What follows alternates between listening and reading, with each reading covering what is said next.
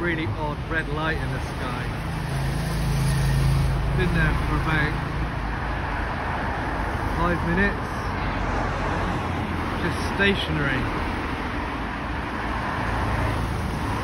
I have no idea what it is.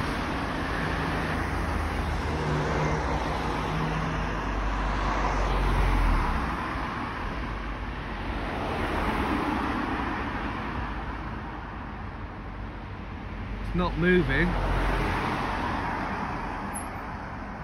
Oh.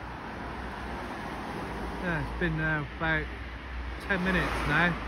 I've been studying watching it for about 10 minutes. You know what it is? It's a bloody crane. That's why it's not moving. Gollum signing off.